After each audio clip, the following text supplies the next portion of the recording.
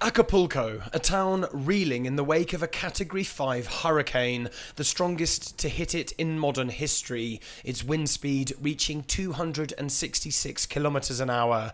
For Emma Abarca, a resident of the poorest area of the city, the hurricane has been the most traumatic event of her 27 years.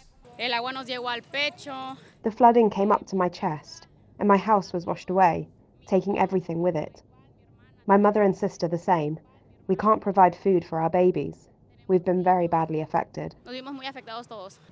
Survivors are taking desperate measures. Home to more than a million people, Acapulco now faces a humanitarian crisis as Hurricane Otis has left many without food, water, or roofs over their heads. Survivors are taking desperate measures. Ha sido muy, muy, muy, muy duro para todos. It has been very hard for everyone. Many have turned to looting just to get some food. We came here to find water, but there isn't any. All the shops have been destroyed. Many others are leaving.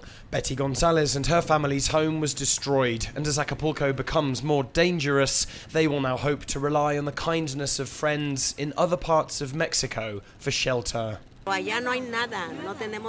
There's nothing here. We've lost everything. Buildings are destroyed, trees falling on cars, businesses have been raided. In a word, our town has been crushed.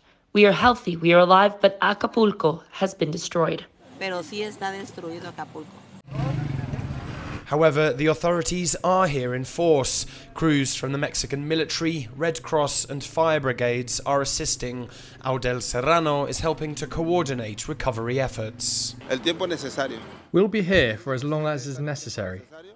The President has instructed us to remain here until the situation on the Pacific coast here is resolved. While Acapulco faces a long road to recovery from Hurricane Otis, the governor of this region reassured city residents that Acapulco will rise and be stronger than ever. Alasdair Baverstock, CGTN, Acapulco, Mexico.